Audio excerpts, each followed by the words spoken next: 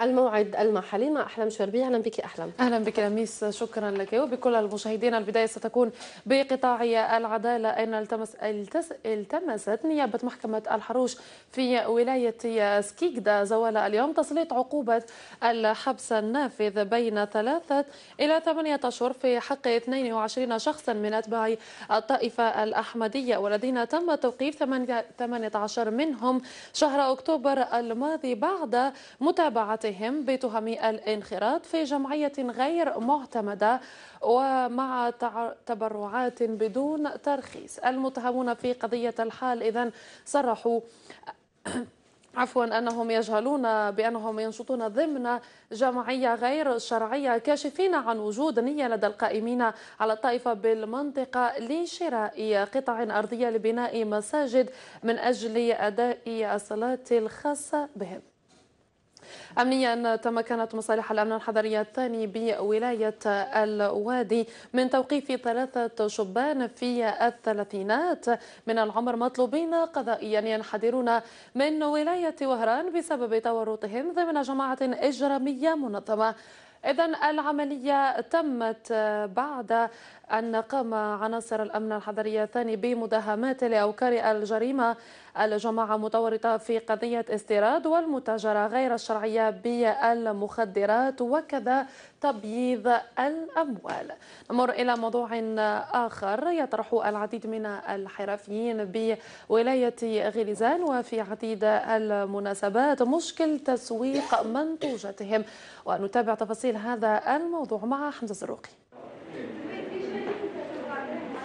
بعد الإجراءات المتخذة لترشيد النفقات التي أقرتها الدولة في جميع القطاعات بما فيها قطاع الصناعات التقليدية والحرف ها هم الحرفيون بولاية غليزان يشتكون من تبعية هذه السياسة.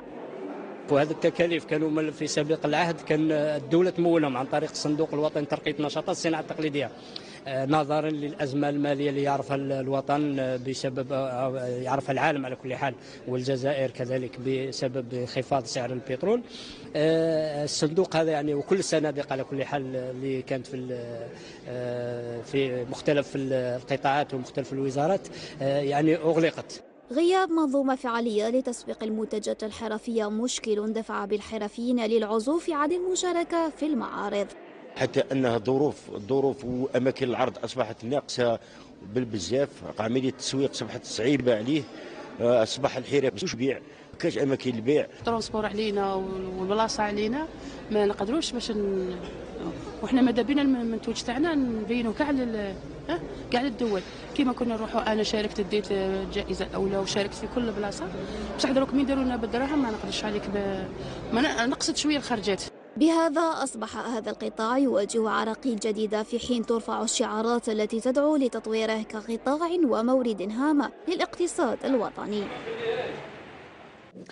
إلى شرق الوطن يستذكر هذه الأيام سكان قرية تيغزا إفراج في أعالي جبال المصارى بولاية خنشلة ذكرى أليمة لقريتها والتي تعد كأول قرية عبر الوطن. يتم تدميرها من طرف المستعمر مباشرة بعد اندلاع ثورة التحرير.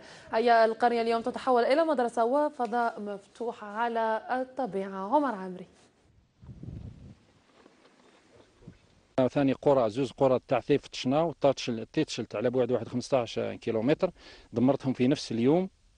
وعندنا ثاني على على مقرب على أمطار على بعد أمطار عندنا آه، مركز الولايه الولاية الأولى تاريخية. هذه الشهيدة كما قلت إنها آه، أول قرية تدمر على المستوى الوطني الإفريقي.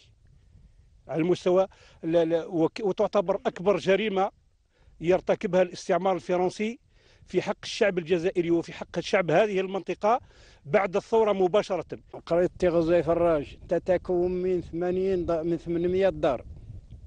كانوا يخزنوا فيها نخزنوا فيها المونة. تاعنا نجيبوا من المصارى لأن القرية وجات في وسط الجبل. فالصيف نصيفوا في المصارى وفي الشتاء أصحاب المواشي يهبطوا للصحراء ختام الجولة المحلية. شكرا لكم. تفضلي لميس شكرا لك أحلام فاصل إعلاني ونعود.